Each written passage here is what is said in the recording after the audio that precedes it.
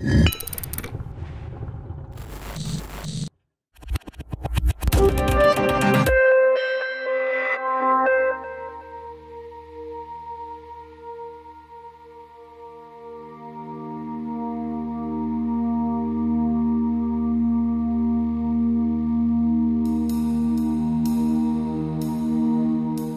יומיים יום רביעי בבוקר בשעה חמש באו העירייה אה, עם רשות הט- הטבע ואת יכולה לראות את העצים אפילו מהשורש שהוציאו אותם, מבינה?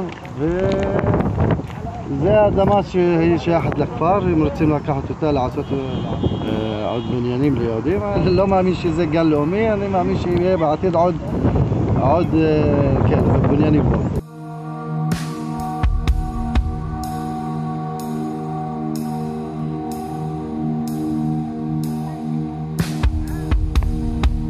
ואנחנו שייכים לעיריית ירושלים, משלמים הכל, מיסים וארנונה, והם לא עושים לנו כלום, מבינה? צריך לדאוג לעתיד של בנים שלנו, של, של הילדים שלנו, איפה לגור בעתיד, מבינה? יש הרבה שטחים שלקחו אותם, עשו הרבה בתים בשבילם, שיישאר שטחים לנו לעשות בתים בעתיד לבנים שלנו.